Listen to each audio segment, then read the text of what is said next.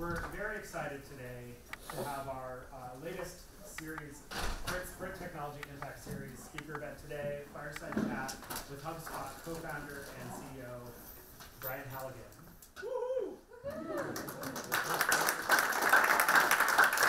I know you haven't had, had Professor Grewal, Yes. but uh, she's also moderating for us today, um, and we're really excited to have her as part of the tech faculty, um, teaching marketing and among other things. So um, I will kind of leave it at that and introduce, let them then uh, go ahead with today's session. But but thank you very much.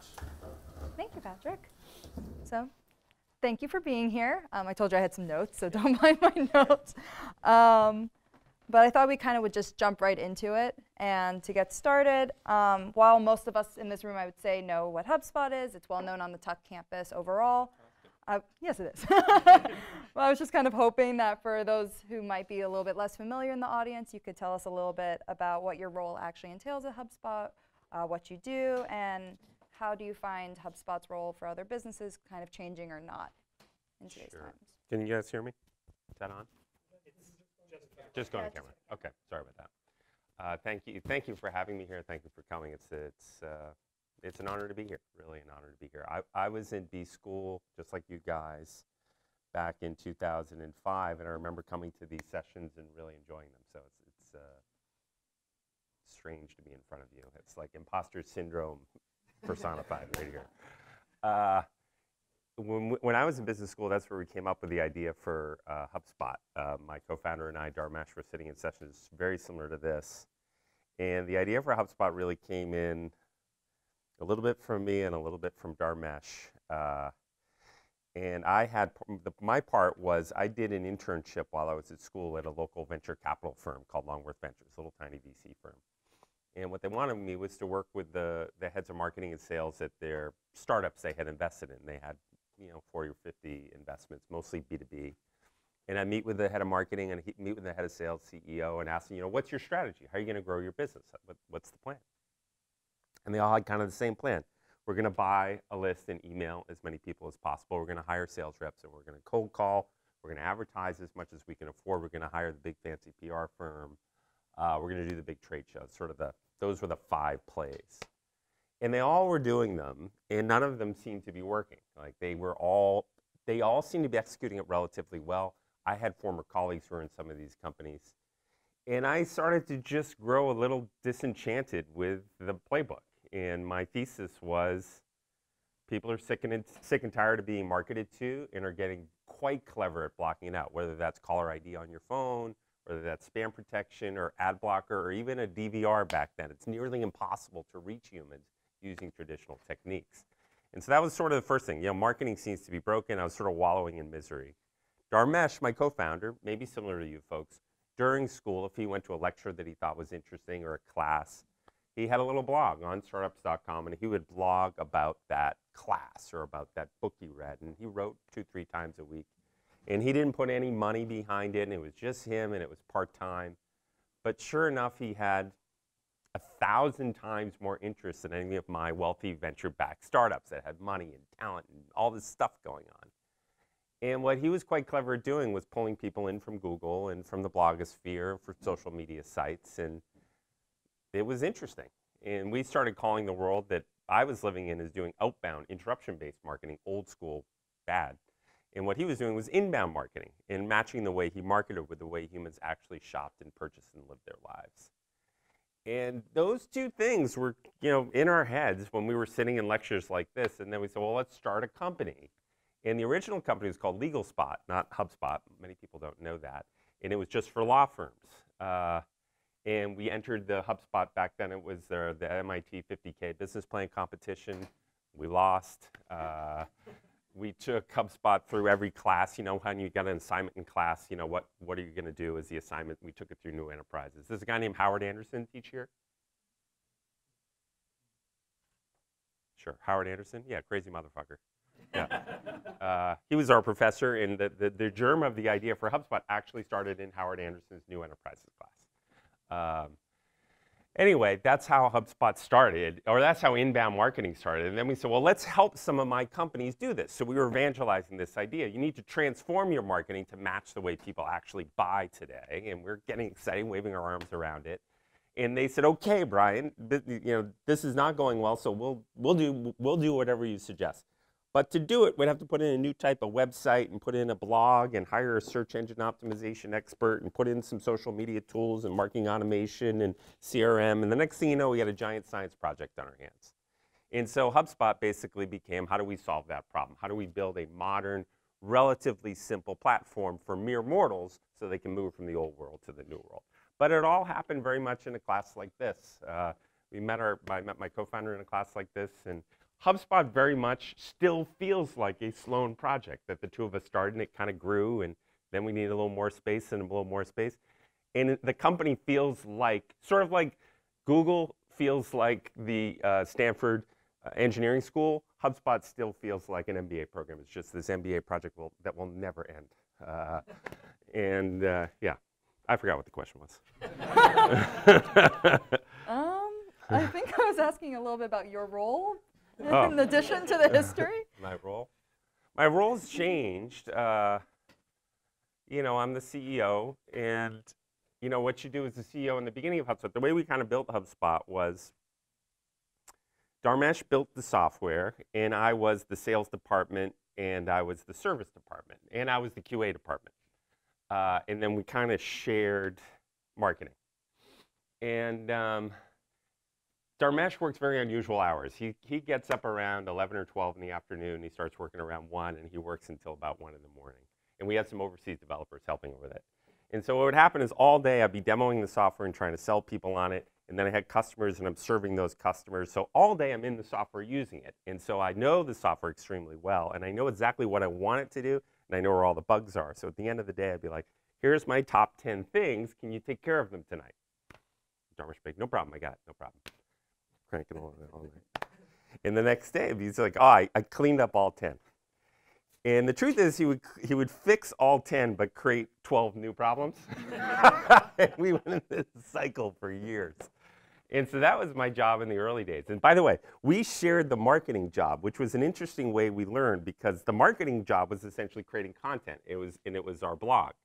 And so we wrote, we'd each write an article a day. And the name of the game, this is pre-Facebook, pre-Twitter. The name of the game back then was how do you get on the front page of, of Digg? Have you heard it? Anyone heard of Digg? It's an old social media site. And Reddit. And Reddit kind of died and came back. It was really easy to get on the front page of Reddit, really hard to get on the front page of Digg. But if you got on the front page of Digg, holy crap, you would get a lot of mojo. And so the only area we really competed was could we get on the front page of Digg, Digg and Reddit every day? So we shared that, and I had half and he had half. Now I don't do much, you know. I do stuff like this. Uh, what else do I do? I think a lot. You know, I think a lot. Uh, I spend a lot more time, less time doing stuff. I try to make very few decisions, but good ones, uh, and really think them through in a deep way. Uh, I, the, the, the cadence of HubSpot is kind of interesting. Can I use the whiteboard? May I use the whiteboard? Of course. So we have a big conference every year called Inbound. Inbound and it happens in September. And the course of the year is really interesting. So we just had the conference, and after the conference, between the conference and Jan 1, is our planning season. The planning season is really exciting. Any crazy idea you can come up with, that's the time. Throw it out there. Let's rethink the strategy. Let's really, really go at it. And then by Jan 1, we need to nail down the budget and start to execute. So we're very tight until inbound next year, and then kind of goes like this again for a couple months and then it's tight. Part of my job is to make these decisions and bring in all the ideas I can and nail this, this down. This is the funnest part of the year for me. The hardest part of my job is to stay out of the, everybody else's business while they're trying to execute the rest of the stuff. Like they need room to move and just execute on the plan. But that's a lot of what I do. I think about the strategy. These days I'm thinking a lot about the strategy. What are we going to do next year? We're going to do the year after. We're going to do the after. Thinking about M&A. Should we start buying companies? What kind of companies should we buy? How do we get good at that? Uh, those are a couple big things I'm working on right now. Wonderful, thank you. Um, So I was going to go into a slightly different direction about your past I'll career. say one other thing oh, I do. Okay. The other kind of filter I look at during the year is I work on two things. What products are we building for our customers? And then how do we sell those products? Like I kind of narrow it down to those two things. And a lot of the other stuff I can kind of ignore. It's like, what are we building for the customers and why? And then how do we go to market with it? And every year we're building new stuff. And every year we make changes to the way we go to market. Uh, that's another kind of filter I look at my job now. Thank you. Um, I'm actually going to jump to the end of the questions because I think it is a little bit more problem. relevant to what Whatever you you were, like. because you seem very excited about the now. Sure. And I'd love to hear about your opinions and thoughts about how marketing has been changing over the past few years with emerging tech. And what do you think is the impact of tech on HubSpot's role, um, what you're doing right now, and kind of how you're thinking about business moving forward? Yeah. How does it impact you during like that inbound, like fun time? Yep. One of the interesting thing about marketing tech is most people's approach to marketing tech is they go to marketers and they ask them what they want. And, oh, I need to do advertising more efficiently. I need to spam more efficiently. Um, we have never taken that approach. And we've always looked, instead of what marketers wanted or salespeople wanted, we say, how, how are humans like all of us changing our behavior? And watching that and then building products for marketers that they'll need in a year or two, and then teaching marketers how to, how to market in a modern way. And so, for example, very obvious things that are changing in all of your lives are we used to read a lot, right? Read long form stuff, short form stuff, whatever. More and more, we're watching videos, whether that's a YouTube video or an Instagram video. Uh, we used to, in Google, you know, click on those blue links. You remember the, you know those blue links in Google? We don't really click those anymore. Google just gives us the answer, or Alexa gives us the answer. It's moved from sort of long tail search to much more fat head search. We used to email a lot together. Now we use Slack, of course, or we use chat on a website. The whole world's moving from email to chat. So we're trying to watch these trends in normal humans and how they behave and push marketers and sellers to transform their go to market to match that.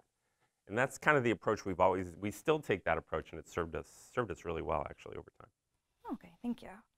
Um, do you think there are any other general trends in tech in addition to like moving from email to chat that our MBAs should kind of keep in mind when they move forward into their own jobs? Yes, uh, very much so. So we've hired a bunch of folks from, not a bunch, we probably hired four or five Tuck grads, and they've worked out uh, spectacularly well. Um, one in particular, we hired a woman named Alison Elworthy as one of our first MBA interns ever, and then one of our first MBA hires ever. And, and she, she led a field trip down to HubSpot, or like a tech trek down to Boston. Um, and she met with us. We were super impressed with her. We ended up hiring her, and now she runs like all the customer operations. She's she kind of runs HubSpot. Uh, she's great. And then the other people we've hired, like Ellen Pratt, we hired, and a couple others. The thing that the Tuck people have in common that I've noticed is two very useful and hard to acquire things. One is they typically are pretty analytical and they can go into many sources of data and pull data together and come to a conclusion and not spin that conclusion.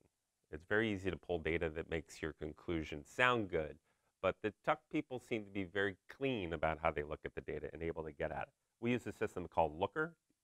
Raise your hand if you know Looker. It's a business intelligence tool. It's a little tricky to use.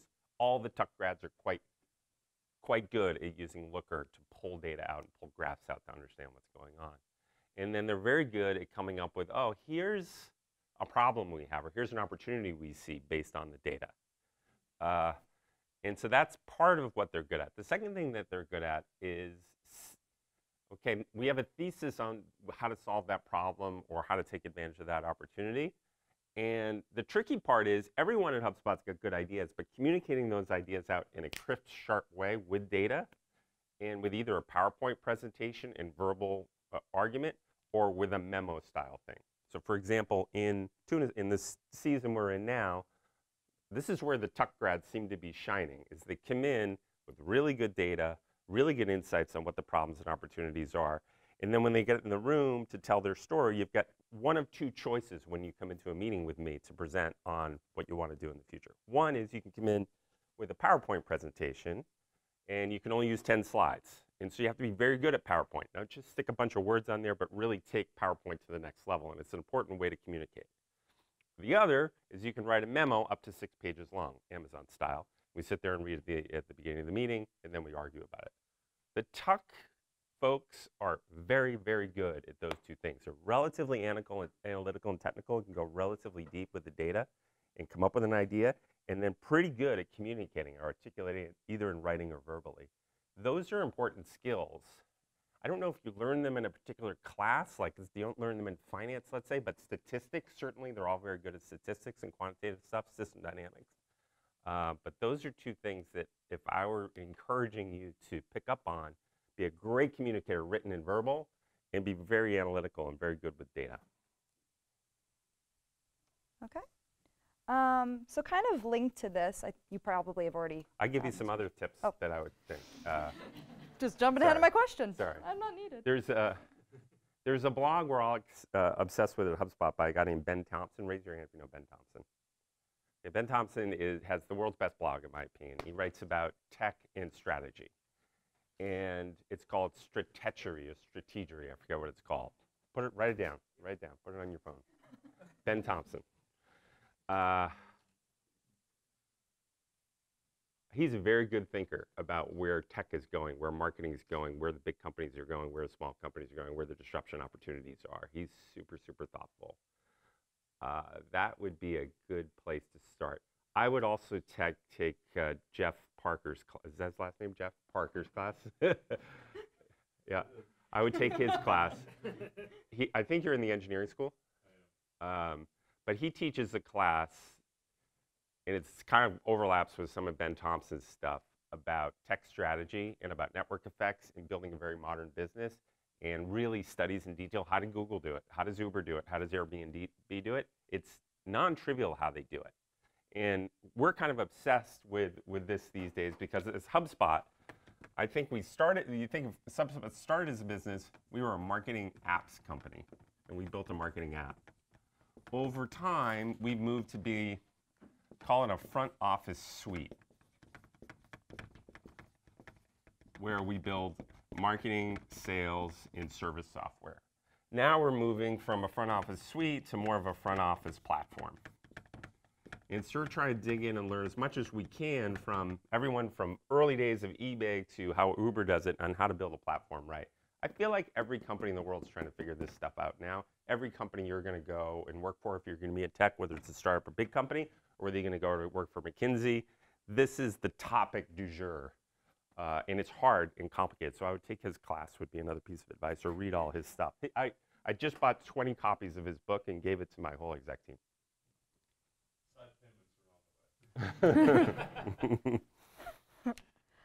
So I'm trying to figure out if you already answered this question, because I feel like you've given us a lot of really good advice um, with blogs to read. But um, in addition, you've also been an active voice in the development of business leaders, and you've shown that you have a commitment to making um, communities that you interact with stronger. And I was wondering if you could talk a little bit more about how you view leadership, really, like how do you be a leader in business and in communities? A good question. Thank you. In terms of communities, well, I'm from Boston. Who's from Boston? I'm just curious, where do people go when they graduate? Who's planning on going to the West Coast? Awesome. Who's going to go to New York? Who's going to Boston? Who has no fucking idea where they're going? Are you posting this video somewhere? Okay. Yeah, yeah, yeah. Too much coffee. Um, what's the question again? Oh, communities. Leadership in communities. Yes. I feel like for a long time, the, the, the, the North Star for CEOs, particularly of public companies, is you're solving for the shareholder. And you guys probably talk about this in your class now. We didn't talk about it when we were at Sloan. We really just talked about the CEO's job is to solve for the stock price and for the shareholder. Um, I think you need to solve for the shareholder, of course, but you need to solve for the customer and for us partners and employees. And this is the one that's kind of the most interesting because unless your employees are happy, these guys, these guys, and these guys won't be happy. Uh, so we, we spend a lot of energy thinking about our culture and how to build a unique value prop to attract and retain employees. And I think that's paid off for us. So we focus on all three. You have a lot of options, a lot. You could start a company. It's pretty easy to start a company these days. You could go to Amazon or Google. You could go to Goldman Sachs or Morgan Stanley. You could go to some startup that I've never heard of that could be a huge company. Um, and so it's hard to, to, to get you. And then once we get you, it's hard to retain you because people are constantly trying to uh, recruit our employees. And so this employee part, I think, is a really key to building a sustainable company that can really grow. I think employees like you also are different than I was when I first found a job. People stayed in companies for a lot longer when I first found a job. People see jobs much more as like tours of duty today. Uh, I also feel like all of you are much more mission driven than I was when I first started my career. I just wanted a good job and make some dough. Uh, and I wanted kind of the American dream. I feel like the economy is so good, and all of you growing up in a different economic environment, a different social environment, and you're much more mission driven. And so I think for CEOs today, to just look at shareholders as your constituency, I think it's a very short-term strategy. You're really going to really going to get hurt uh, quite quickly. And so we try to balance it out with a lot of a lot of emphasis on employees, trying to make ourselves a unique, attractive place to work. The shareholder thing is interesting too. We're public now, and we've got this, these shareholders, uh, some of which are, are, they say they're long only, like Fidelity or Wellington. They say they're long only. They're not. They trade in and out of your stock. And then you have uh, short sellers. They're in and out of your stock quite a bit. Hedge funds are in and out of your stock uh, quite a bit. If you were solving for the short sellers, and if we were just solving for the stock price, I could easily get the stock price up 30% by solving for the short term. I'd hire a ton of sales reps. Uh, I wouldn't give raises to the employees. Uh, I'd shrink my service organization. Uh, I'd crank my profits up by starving R&D, which would be really easy to do. Uh, but it would be a very short-term sugar high, and it would come crashing down on us. You really have to, as a CEO, push back on the shareholders and think much more long-term, or you'll really get eaten up uh, quite quickly.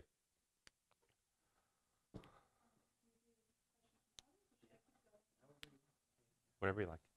The one last question I had is a little bit um, in a different tangent, so I thought I might let some of the MBAs, if anyone had a question on the topics. One other question I saw on the list.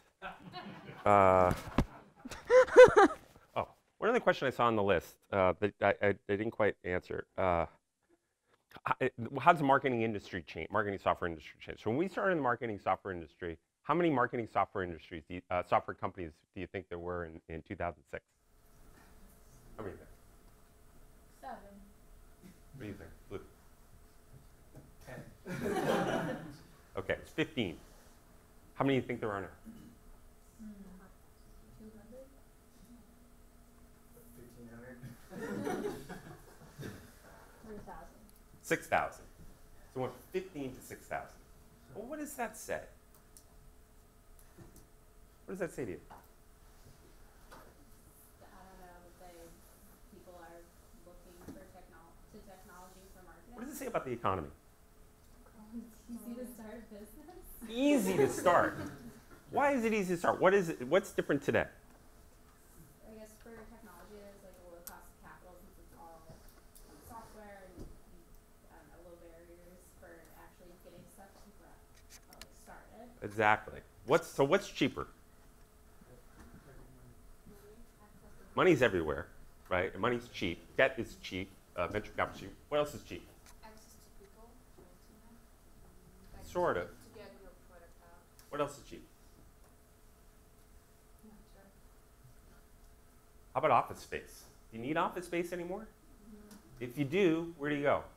WeWork We work. And, and how long is that contract? Six months. Monthly. What else is cheap? How about the platform you're building on, the servers? Is that expensive now? No. Where do you go? AWS. Is that a long contract? No, month to month. What else do you need? People. Where can you hire people? You can use offshore labor. You can use all kinds of clever ways to get people today. Uh, how about hard, the hardware business? Is that harder or easier? Let's say you want to make some device or you want to make a new coffee cup. It's easier because you have more access to um, uh, production facilities. So You can make a new coffee cup in three weeks in China now. It's so fast. CAD tools are nearly free today compared to what they used to be. Rapid manufacturing systems are like free. And so the barrier to start a company is zilch. It is incredibly easy to start a company. Now, the downside of that is you start a company, there's only, there's only 15 of them, you know, you're fine. You've got a unique value prop, but now you've got 6,000 of them. And so it's easy to start, and it's hard to scale really, really hard to scale. It's really hard to stand out. Your marketing's hard to stand out. Your employment brand's hard to stand out. I mean, we got competitors just, when you think of the competitive landscape for HubSpot, most of these are startups. Who else does HubSpot compete with? Who else does HubSpot compete. Like Salesforce? Marketo. Is that a good company? Yeah. Who else? Eloqua and Marketo. Eloqua? Who owns Eloqua? Oracle. Good company? Well, I used to work there, so no. Okay. Who else? Marketo was owned by Adobe, which is great. great company. Who, so those are pretty tough competitors. Who else might we? Who do you think we might compete with down the road? Amazon. How would that? How would that be? That would suck. Who else? Google. Mm-hmm. Yeah. So it's a terrific time to start. And I think the economy bears this out. Really easy to start. Capital's cheap, office space is cheap, everything you can buy is as a service. But boy, it's got harder and harder to scale. And so if I were to give you a little bit of advice, like if I go back to my career, like these two companies have been very influential on me. I spent 10 years here and five years here. And they were very different. If PTC's CEO was a presidential candidate, it'd be Donald Trump. If Groove Network's CEO was a presidential candidate, he'd be Bernie Sanders. Couldn't have been more different, culturally, everything. And you can see it from the asset allocation. And this company was very sales driven. And I learned how to hire sales reps, fire sales reps, open international offices, build funnels, stuff like that. And it was a machine. And it was, it was a heartless machine. This company this guy was very good at products, And what he was quite clever at doing was saying, where's technology going in the next few years? Where are humans going in the next few years? How do I build applications and solutions to pull those things together? Uh, he, was, he was quite a clever guy. When he built Groove Networks, technology was heading this way, humans, but he was, he was predicting out here. What he built was basically like at- what Atlassian, it was more like Slack plus Dropbox. And it was just early. He was right, but he was early. And so he, I learned a lot. So if I were to give you advice, it's like, how do I, how do I, one, get some scale up experience? Everyone in Silicon Valley these days, they, there's like this romantic, there's, a, there's like a love of failure. Fail fast, learn from your failures. Of course you want to do that. How else can you learn? Well, from success. You can learn a lot from success, right? Go to some place that's had a little bit of success and learn a couple things. What happened to me is I, I joined PTC, there were 200. I left, there were 5,000. We made a lot of mistakes and we had a lot of failure. What else do we have?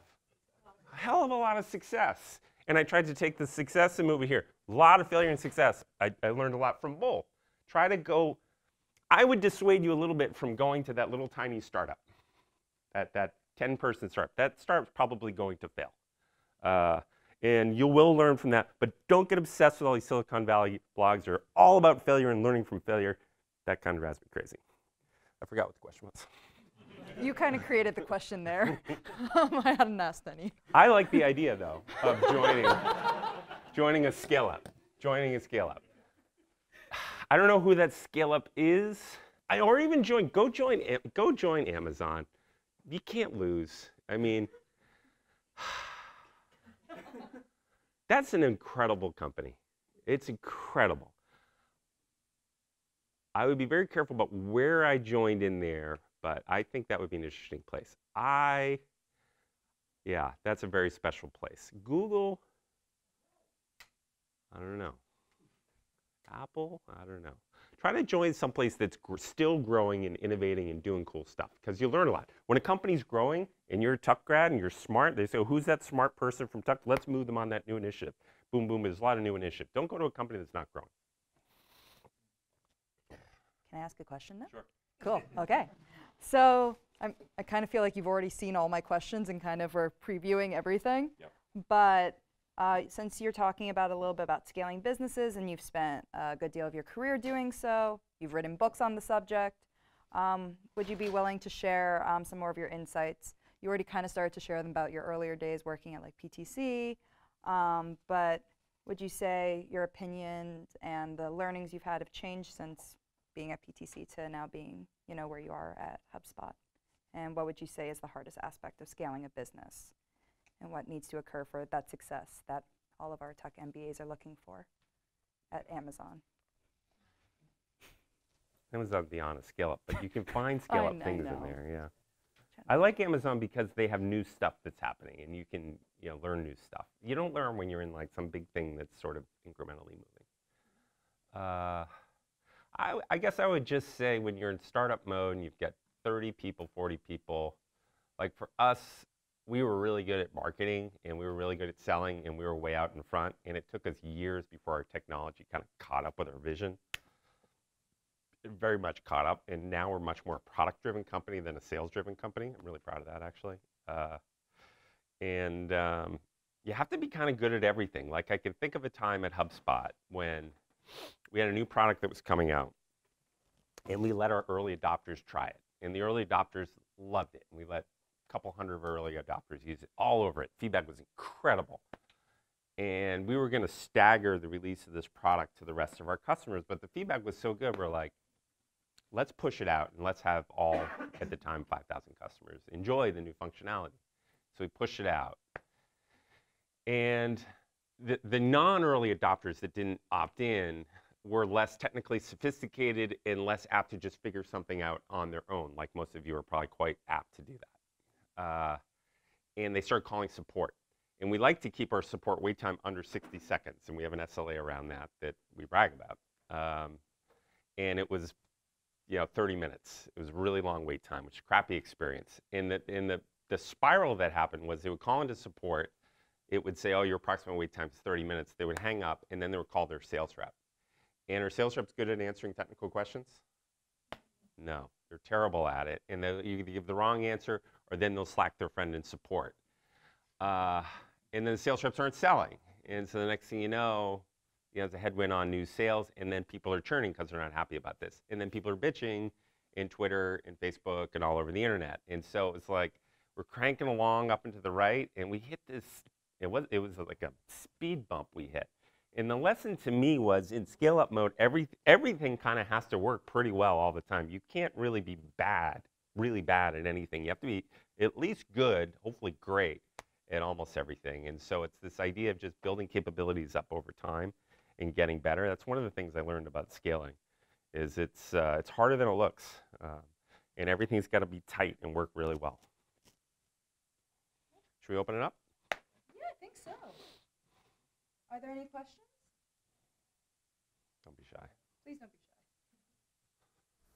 So I have a question. You have extensive experience in sales, and usually like MBA don't don't provide some sort of like classes related to sales. And I think like I also like see the sales experience is crucial to like launching your company, to scale, to raise capital.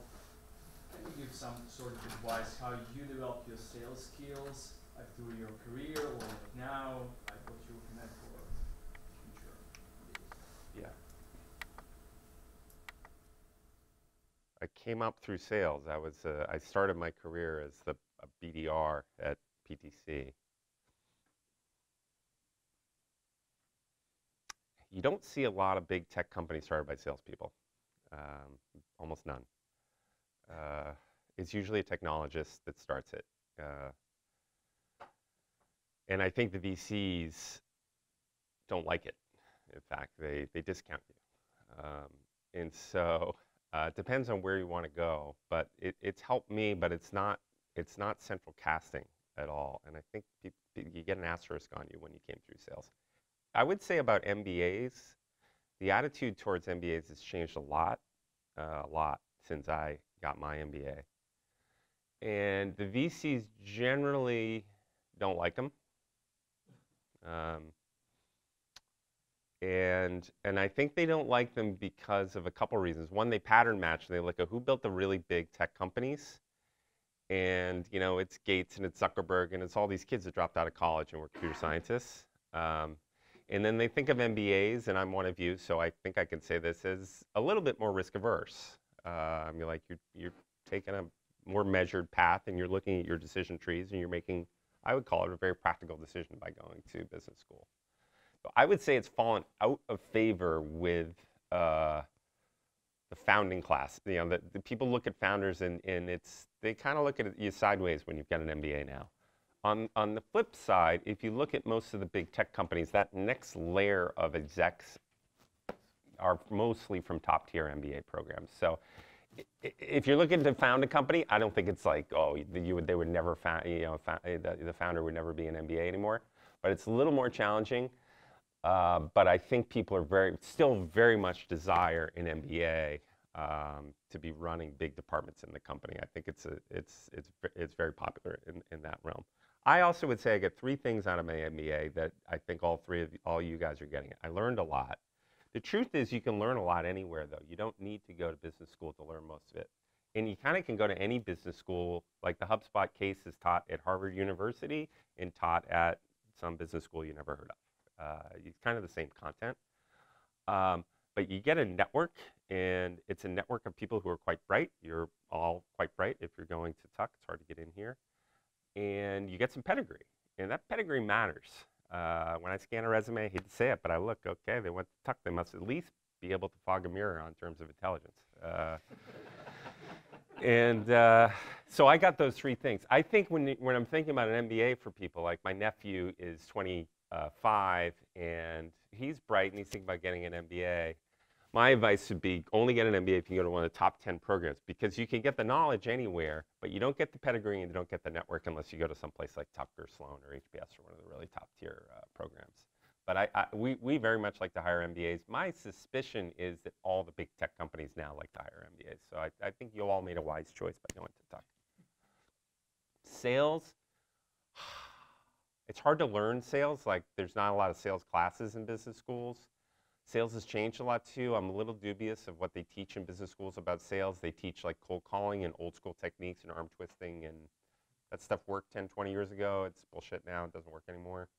Um, the, the profile of a sales rep's changed for someone who's very aggressive and very um, just just can can take a no time and time again because they spent their life cold calling and that's how they earn their stripes.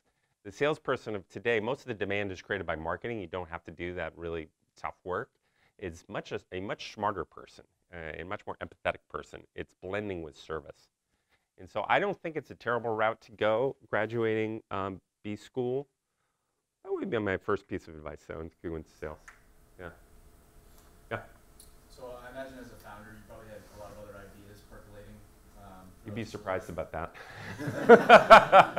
Uh, go, go ahead. Well, question is, what was it about HubSpot and that idea that made you want to go all in on it? Um, and maybe, or maybe conditions or, or other things that are relevant to that that Yeah. can talk about. Okay, when I graduated, I had three choice. I went late. I was 36 when I went. Uh, 36 years old when I went to business school, or 37 when I graduated. I forgot.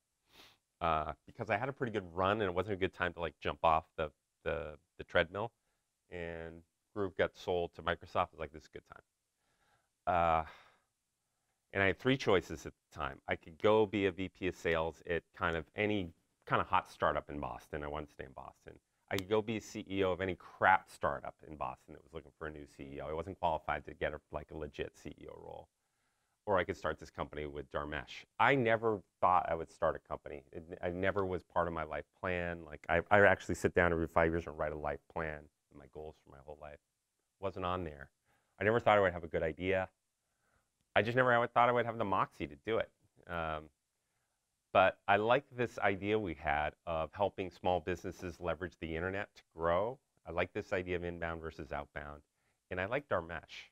Uh, inside of every business school, there's a uh, there's two bell bell curves.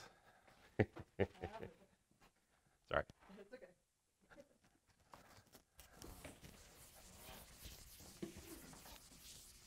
Okay, we give you the Halligan's rule of MBAs. This is actually not right. Curve one, curve two. One is is is is, is the the x the x-axis is intelligence. This is the smartest person. This is the least smart person. Okay, and you have that. You know who, who in the room is, is probably the smartest person might be in the room. You know, you know, where- you all have that invisible bell curve in your heads. I don't have a more polite view of this, but this is maybe the, the nicest person, and this is the biggest douchebag.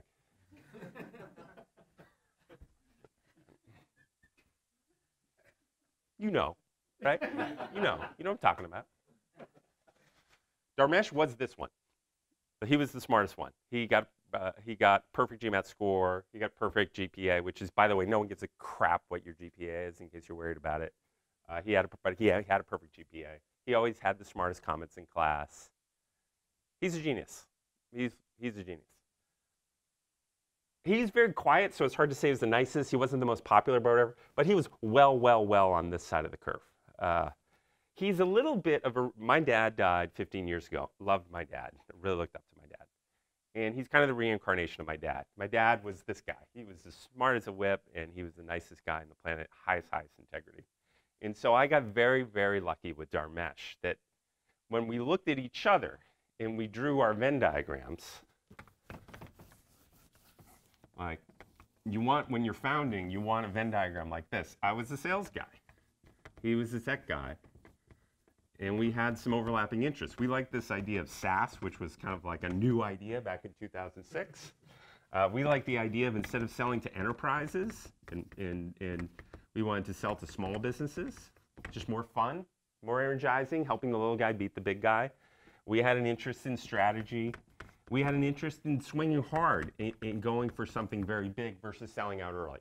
Uh, and this relationship is part of the real key of HubSpot that's worked out because I'm quite capable in certain areas, it turns out. He's quite capable in other areas. I have opinions here, his opinions here, but we're very balanced and add a lot of value to each other and I, I, forgot what the question was, but I got a very good co. Oh, the question was why HubSpot. Part of a lot of it was Dharmesh talked me into the damn idea, uh, and I remember the day he did it.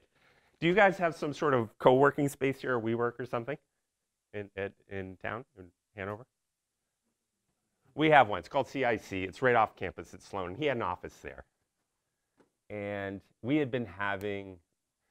We had started, didn't really start the company, but we're kind of working on it in school and it was not obvious it was a great idea at the time. Uh, and I remember one day we sat and we whiteboarded out a whole bunch of stuff. And he just went in for the close, which isn't like him. He was like, dude, let's start this company. Stop interviewing these other places. Let's do it. This is going to work. And I was just, I, caught me, he frankly caught me in a weak moment. I was like, all right, sure. My other, I had some other options. They were good. I didn't know. And I was just like, fuck it, I'll do it. And I'll do it for six months and we'll see what happens. Um, and he wouldn't have started it unless he could talk me into doing it. He wasn't going to do it. He was only going to do it because we were kind of a kind of a perfect match. And then if I were to describe how HubSpot's gone, everyone thinks it looks like a rocket ship from the outside. It's really not. It's you know, it's a sine wave up and to the right. We've had some low, low, low lows, and we're in kind of a really high, high, high point right now. Um, but it's been up and down. But that first six months, it's just kind of steady progress. Two steps forward, one step back. Two steps forward, one step back. Two steps forward, one step back. So in six months, I asked myself, is this is this going to happen? Is this is this a good idea? I was like, yeah, going pretty well. We weren't killing it. Uh, product was terrible. We had a bunch of visitors to our blog. You know, if a Martian looked down to HubSpot and said that, you know, that, that what's the odds that's going to turn into a big public successful tech company? They would say, yeah, I don't, I don't know. Um, but it was persistence, just stayed at it. Two, two steps forward, one step back, two steps forward, one step back. And the founding relationship's really key. Uh, you mentioned some challenges that you faced scaling up. I was wondering if there were, uh, if you could speak to challenges that you had either in the employee or the culture side that came to scaling up. We, had, we the, the, one of the most challenging parts of uh, moments in HubSpot is we have we had an employee named Dan Lyons, who's a writer for uh, the show Silicon Valley. Ever seen the show? Uh, he worked for us for a couple years. We let him leave and, and write some episodes for Silicon Valley. He was extreme. We have the happiest employees like in the world. He was miserable, hated. I sat next to him for part of it. I could tell he was miserable. And he left and he wrote a book about how much he hated HubSpot. That book became a bestseller on the New York Times bestseller list. And in the book, he went to great pains to describe how what idiots the founders were. that was a long day, the day I read that book.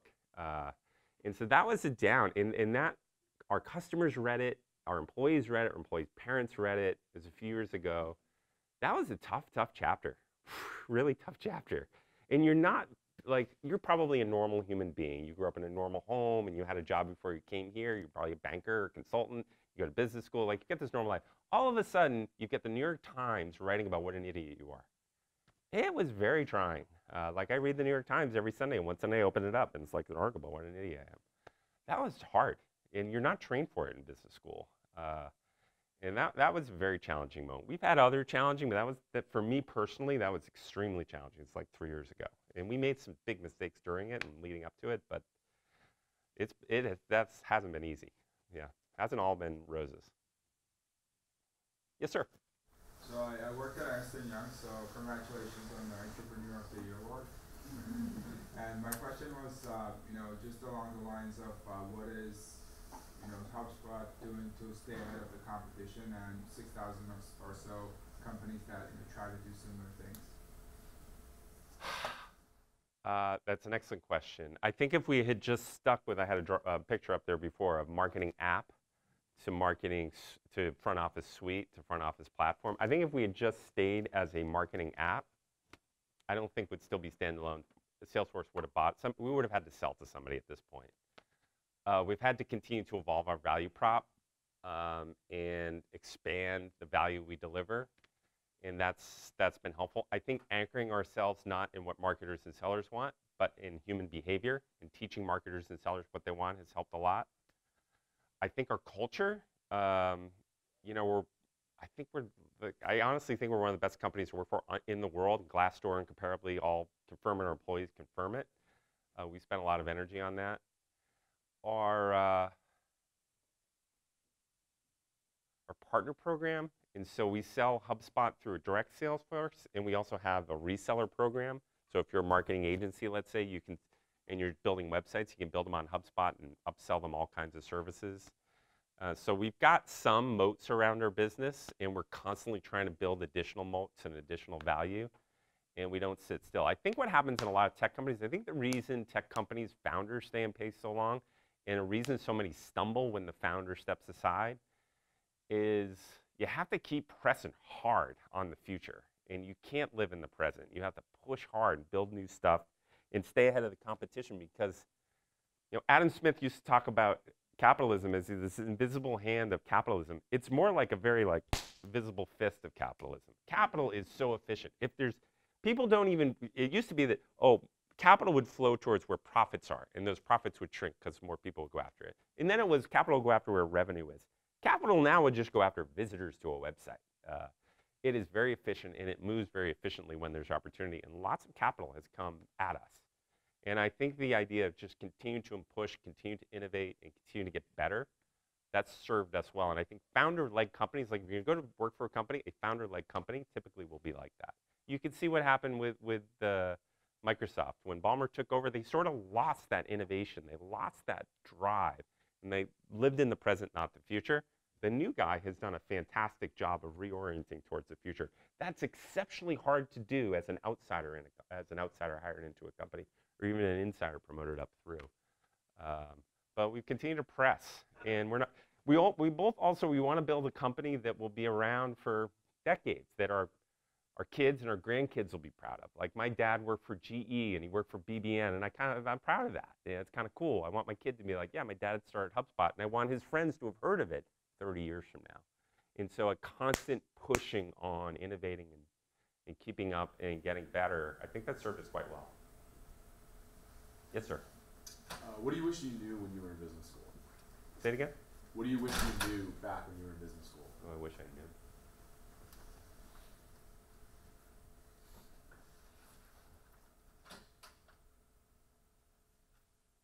Okay, I'll give you a couple things.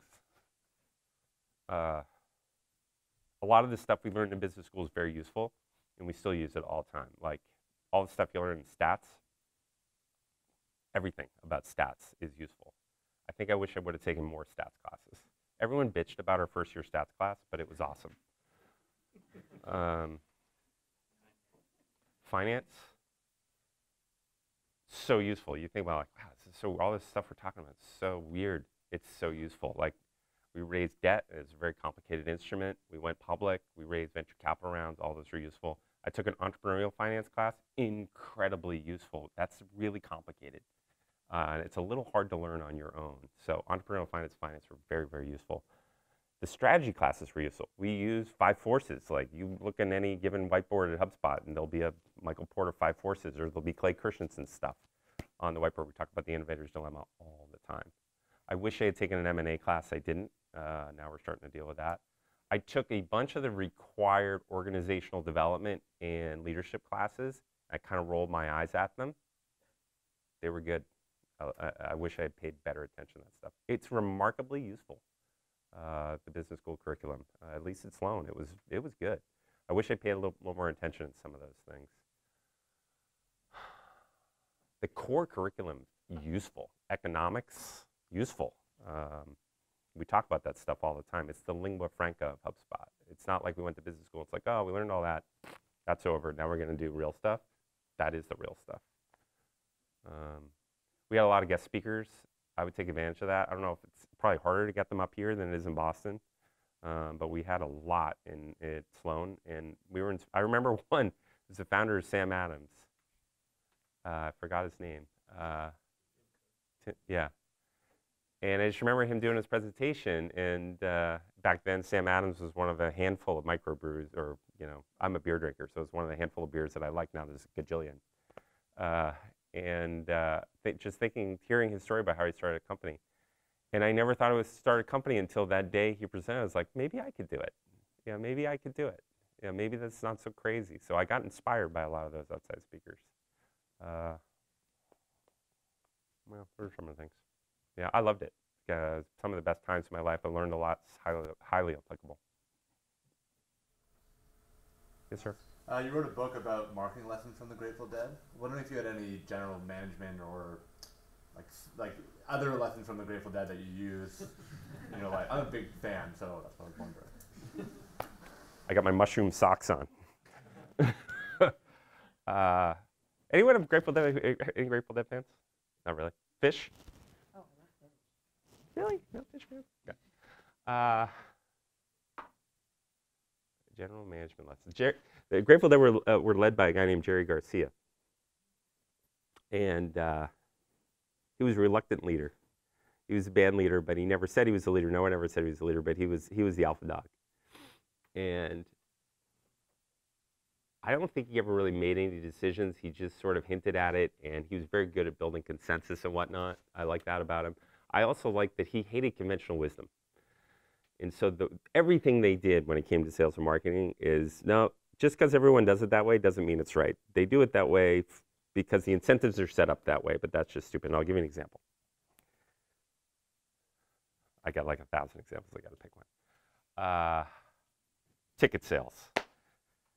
Back in the day, when you went to the Rolling Stones, you would wait till the, t- the tickets went on sale. You would call until your fingers bled trying to get through the Ticketmaster line. Um, and finally, you get through the line, and there'd be like no tickets left or really crappy tickets left, and you buy those crappy tickets. Who do you think bought all the tickets? Scalpers. Okay. And so when Jerry thought about it, he said, well, who's making all the money in this? Who's making all the money? Well, the scalpers made a bunch. Who else made money? Ticketmaster made a lot of money. Where were their best fans sitting? Sitting. Who was in the front row? Venture capitalists and bankers. Where were their, their best fans? In the back. And so Jerry's like, this is bullshit. Yeah, everyone does it this way. Of course, they do it because Ticketmaster runs this. So he said, enough. We're not selling through Ticketmaster. We're setting up our own ticketing company. And, uh, and so he bought tickets directly from Griffith. They cut, they, and they cut out Ticketmaster there. Now, how did they cut out the scalpers?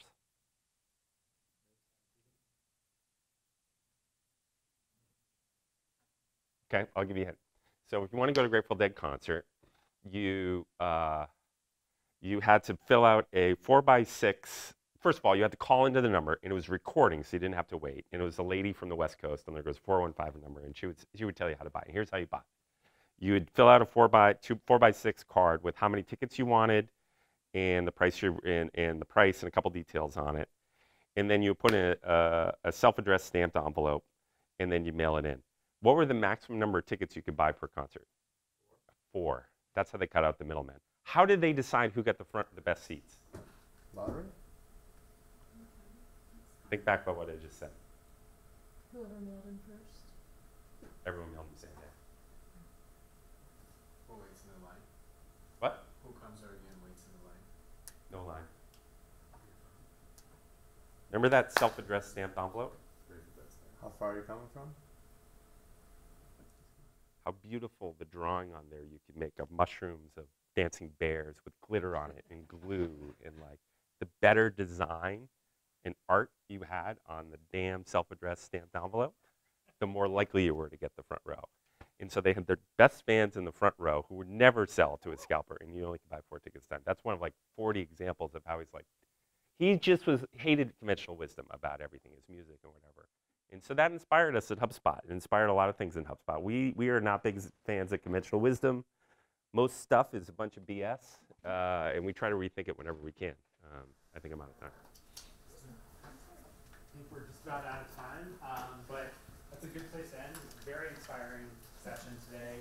And, um, you know, I think as you hinted to or, or, or mentioned, you know, you're proud of your company and things. And you know, I think having someone who's been named top CEO by Glassdoor like four or five times is, is a real treat for us. And on behalf of, you know, the whole Tuck and their community from the Center for Digital Strategies, I want to thank you for spending, spending some time with us this afternoon. Thank, thank you. We do have a little swag Right, you. thank you.